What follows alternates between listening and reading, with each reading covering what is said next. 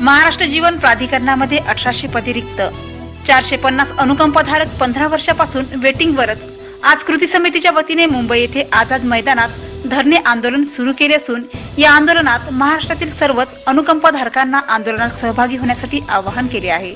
महाराष्ट्र जीवन प्राधिकरण हे विभाग कार्यरत असून ग्रामीण पाणी पुरवठा क्षेत्रात योजनांची अंमलबजावणी तसेच आर्थिक नियोजन व योजनांची देखभाल दुरुस्ती या सर्व बाबींची जबाबदारी प्राधिकरणावर आहे. महाराष्ट्र जीवन प्राधिकरणाची सध्याची मजूर संख्या पाच हजार पन्नास इतकी असून कार्यरत अधिकारी कर्मचारी यांची संख्या बत्तीसशे इतकी आहे. महाराष्ट्र जीवन प्राधिकरणामार्फत सध्या ग्रामीण पाणी पुरवठ्याची मोठ्या प्रमाणावरील कामे प्रगती पथावर असून राष्ट्रीय ग्रामीण पेयजल कार्यक्रम मुख्यमंत्री ग्रामीण पेयजल कार्यक्रम यासारख्या महत्त्वपूर्ण कार्यक्रमाची अंमलबजावणी महाराष्ट्र जीवन प्राधिकरणामार्फत करण्यात येत आहे.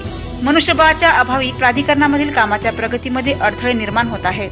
महाराष्ट्र जीवन प्राधिकरणातील सुमारे अठराशे पदे सध्या स्थितीत रिक्त आहेत. तरी सुद्धा पंधरा वर्षापासून अनुकंपाधारक शासनाच्या निष्काळजी धोरणामुळे वेटिंगवरच आहेत.